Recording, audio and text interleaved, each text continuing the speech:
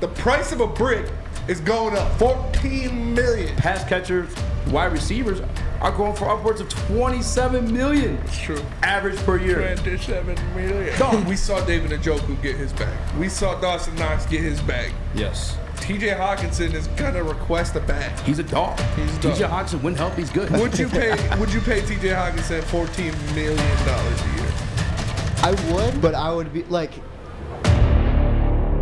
want to talk about current Detroit line who I don't know if they're, they they haven't actually opened up and said they're talking about contract extensions. Yeah. Uh, when they asked Brad Holmes about it, he said we do those things in house. yeah. But uh, you know, Dawson Knox has signed a big deal. Yes, he did. Four years, fifty-three point six million dollars, uh, thirteen point four million average per year. But as we know, that's not how these things go. The contracts aren't like thirteen this year, thirteen this year. Yeah. They try to fuck you. You know what I'm saying? But hey, we'll give you this big amount, but you gotta make it to your fourth year to cash in on all of it. First year you're getting paid nine million. Yeah. Uh, by the third year you'll be making 16 though. You know, if you catch up there, you don't get cut Yes. by that. You know. Hundred percent. Uh, Thirty-one million guaranteed though. Actually, so that's that's actually pretty good. Yes, 31 guaranteed is good. Thank you. That's you know, thank you. Google it. I think this is a lot of his boy Josh Allen being like, "Hey, Yeah. you, you fucking signed No, Dawson for sure. Knox. You better wanna go keep the offense right now." together. But the price of a brick is going up. To quote Marlo Stanfield, the coldest antagonist of all time. But we saw David Njoku get his bag. We saw Dawson Knox get his bag. Yes. TJ Hockenson is gonna request a bag. He is gonna request fourteen million dollars a year average. Are you willing and or comfortable to pay TJ Hockenson fourteen million every season for four years, five years, whatever it ends up being? Yeah. Yeah. Yeah. I mean, obviously that's the average per breaking it down, but like I said, these contracts aren't aren't built that way, man. Yes. You know what I'm saying? This this stuff's backloaded. but let's let's pay them. And, and let's be honest about it too, like you know, T.J. Hawkinson, his, his strong suit is as a pass catcher. Pass catchers, wide receivers are going for upwards of 27 million It's true. average per year. Twenty-seven million. Dog, that's more than a 10 million dollar discount. Are you kidding me? And Yeah. TJ Hawk's a dog at receiver. I'm, I got his, and this is like a fantasy website, but just comparing his 2021 season versus Dawson Knox.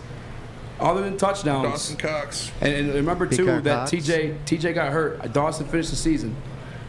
More more targets, more receptions. 84 targets, 61 receptions. Dawson Knox 71 targets, 49 receptions, and uh, Dawson Knox only finished with four more yards. Mind you, Dawson Knox played the full season. Yes. TJ Hockenson checked out, got hurt.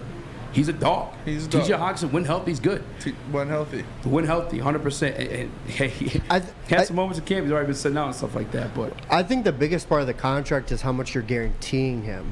That's the biggest It's thing that I don't know how much they would guarantee him. But You'd have he wouldn't sign it. NFL players are getting smart with that shit now. They're not. they should. They, yeah, they Yeah. should. It's the Yeah. most violent sport. You, I couldn't believe like NBA or MLB players were getting more guaranteed money than NFL players. I was It's like, wild, That's bro. fucking ridiculous. It's like wild. owners in the NFL are scumbags. like these guys can literally die on every play, and you're not guaranteeing them money. But NFLPA sucks, bro. I was laughing because uh, Buddy walked by with the the Steve from Blue's Clues shirt on. I saw that. Jeezy was like, but yeah, I, I, uh, say I kept my focus. I'm on. I'm off that Addy today, boy. Would you pay? Would you pay T.J. Hockenson fourteen million dollars a year? I would, but I would be like, like when the time came to, that's when. At the moment, I'm still a little queasy, like just about like totally giving him that money. I Yeah. think he's a great player and everything. It's just like if he gets injured again, then it's like, hmm, you know, Yeah. like I, like I said, it's the guaranteed money. That's the biggest thing that I look at those contracts at. Obviously, you can throw out whatever amount on those on the paper, but if it's not guaranteed, then that changes things. But I would probably pay him at the moment. Yes. And, and this is a big year for him too. Like like you said, it's really very much up to his health. Like Yeah. if he stays healthy this year, I'm giving him the bag. If he's hurt this year, Would you franchise tag him? Because he'll Yeah. make more than fourteen million dollars a year on a franchise tag. yeah, 'cause what's that? The top five Top three. salaries, top three salaries. Yeah, at your position. Uh, So he'd probably be like 15, 16. yeah, I mean, I'm sure they if they can't get a deal done, they'll, they'll franchise tag him. Him and Dawson Knox were actually drafted the same year. I just found out too. They both have three years in the league. Dawson Knox with 1,200 yards total in his career.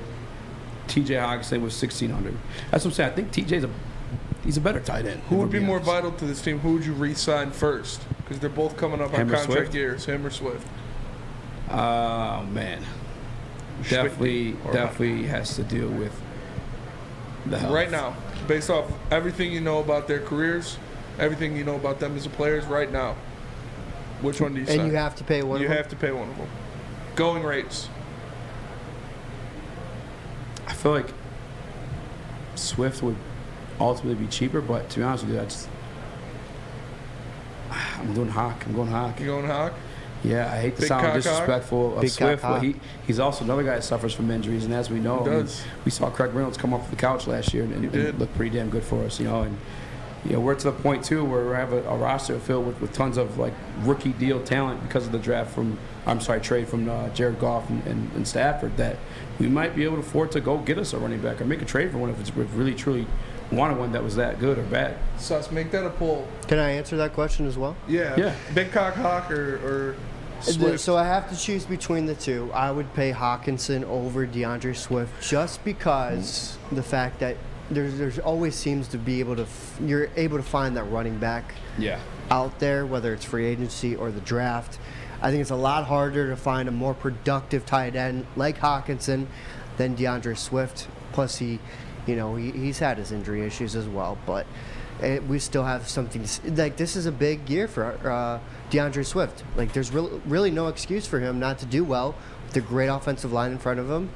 And he's putting up these high expectations for himself, especially in like hard knocks and everything. Hard Cocks? Now it's now it's about answering those questions.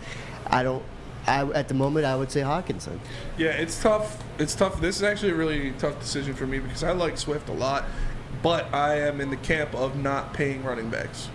I am in the camp of what NFL teams do now, which is use and abuse and toss to the side. Because, like you said, man, running backs that is one of the toughest positions to play and stay healthy. You know, you're getting a lot of collisions in there. You got guys taking out your knees, taking out your legs, stuff like that. And for a guy like DeAndre Swift to get paid, it would probably be cheaper than Hockenson, but that would be a commitment. And but on the other side of it, DeAndre Swift still has a lot of tread on the tires. Like it's he's he he's missed these games early, so he doesn't have the wear and tear of, of other backs at this point in their career. So you got to look at it from that that aspect as well. But I'm with you, Owen. You can find a, a running back like that in later rounds in the draft. It's tough to find a real top flight tight end like that without wasting a first round draft pick on him like you did to get Hawk. So Yes, I mean Swift himself is a second round pick. You know? Yeah. And, and like if I'm being real about it, like you, you I mean you hit the nail on the nose, or the, the, the expression is, but it's a lot harder to find a, a good tight end as good as Hawk is, you know, when he's healthy, than it is to find that running back. It Yeah, just is. 100%, As sure. much as like look at the, the, the bag that Knox just got, you know, TJ's outproducing him and everything outside TJ of like, is a better touchdowns. TJ is a better player than Dawson Yeah. Knox. And, and mind you, too, the games that TJ's missed and the offenses that TJ's been a part of. Like David Blah was his starting quarterback. That I think it was that first year, or second year. Like he only had the one year with Stafford. and He went to the freaking Pro Bowl. Yep. Well, You know? regardless, they're going to have to get this contract done, or the price of a brick will keep going up. 'Cause Yes. People, more people are going to get signed. That's just how it works.